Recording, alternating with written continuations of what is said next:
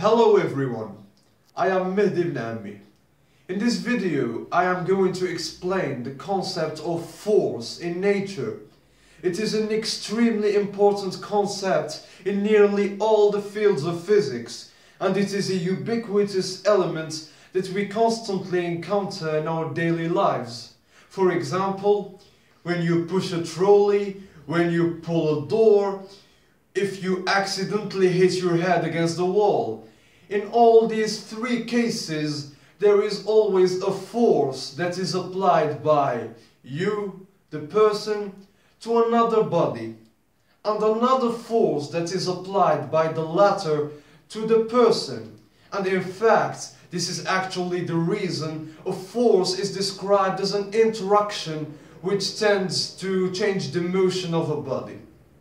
This change can take several forms. They are called effects, which means that a force can have different effects on different objects.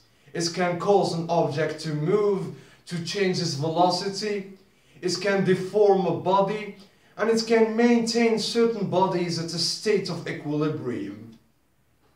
What is the unit used to measure a force? While mass is measured in kilograms, distance in meters, force also has a unit called the Newton. It is named after the great physicist who established the three fundamental laws of motion, Isaac Newton. Now, after defining a force and its effects, I am going to tell you about the categories of forces in nature.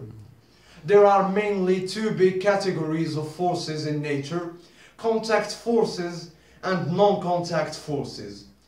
The first type, a contact force, is, as its name indicates, a force that is applied to the point or the surface of contact between two objects. For instance, when I clap my hands, each hand applies a contact force to the other one. Now for the second type, a non-contact force is a force that is applied by an object to another object that is not directly in contact with it.